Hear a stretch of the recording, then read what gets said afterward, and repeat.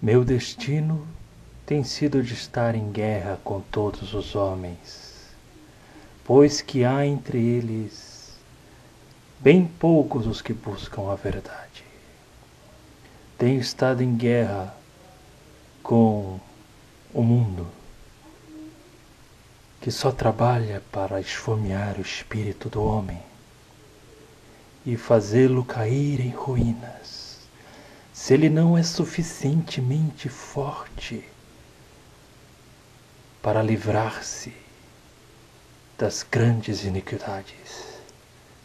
Tem estado em guerra com os filósofos que têm querido degradar a natureza humana relegando-a ao nível dos animais.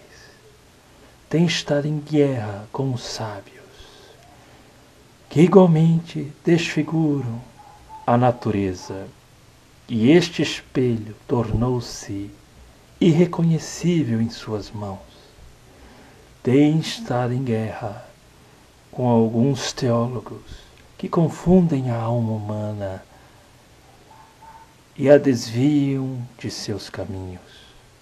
Procurei cumprir o meu dever o melhor que me encontrei, e almejei que esses meus esforços, neste particular, pudessem um dia passar uma esponja sobre meus deslizes e minhas infidelidades. Palavras do venerável mestre, filósofo desconhecido.